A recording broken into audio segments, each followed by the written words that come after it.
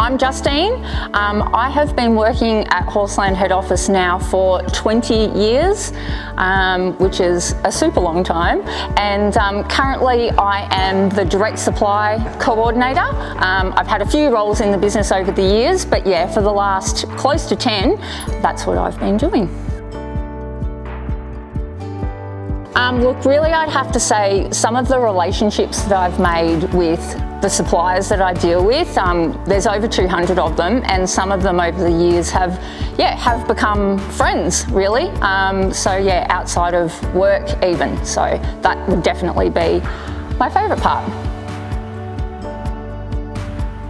It's a hard one, but my current favourite product would have to be my jump saddle, um, my Enzo Treviso Gina Mono Event. Um, it is hands down the comfiest saddle I've ever owned and I love it. oh, forever?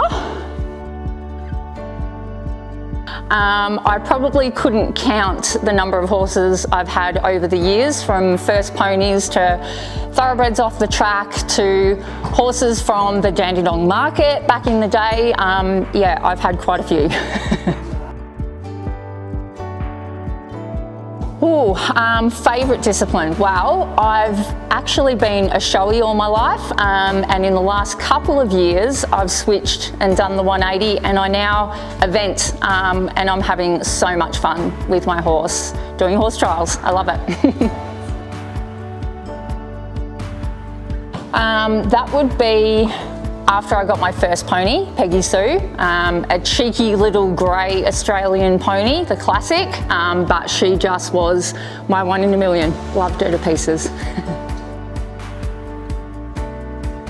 oh, inspires me. Um, Monty inspires me because he is just the best horse to have around. He's so much fun and he makes me want to ride. So I really love him for that.